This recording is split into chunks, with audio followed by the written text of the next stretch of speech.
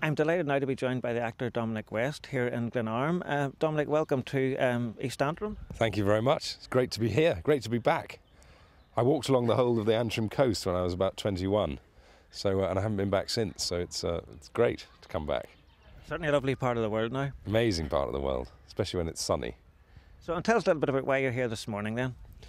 Well, um, we came because my wife, um, we're good friends of Randal and Aurora, and my wife Catherine uh, designed or redesigned the, the walled garden. So, uh, and she hasn't seen it since since she sent since she gave them the drawing. So it's uh, it's an exciting morning to see the fruits of her work. Brilliant. And tell us a little bit about what you've been up to yourself recently. Uh, I've been uh, I've just been in America doing a big sci-fi film called John Carter of Mars, which comes out next next year. I've just played Fred West on ITV, um, which I'm not allowed to talk about to anyone, and uh, I'm about to go and do a play in London for the summer. Great, so you're being kept busy, and of course, uh, The Wire was a, was a big uh, success in, in the UK. Any any more plans to do any any more filming of that series?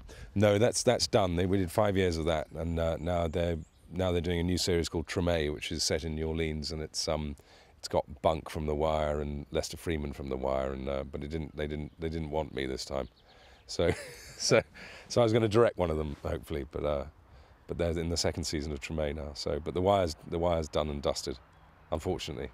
But you enjoyed your time on it. Oh, it was great. Yeah, great. It's great great show, and, and it was brilliant writing, and I had a, a really funny character. So yeah, I loved it.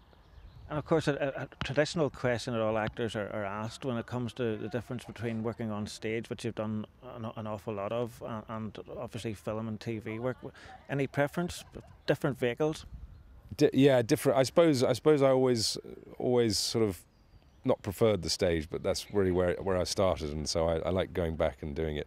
It's you're more you're more sort of in control than you are in film and television because it, which is much more about the director and the editor really.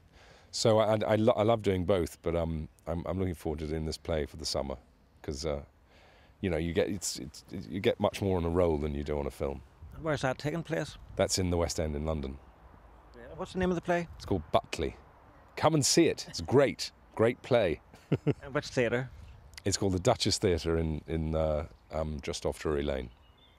Okay. Yeah. Brilliant. Well, we'll let everybody know about that. And listen, Dominic, thank you very much for taking the time to chat to us and hope you enjoy the rest of your trip here. Thanks very much. Can't wait. Thanks.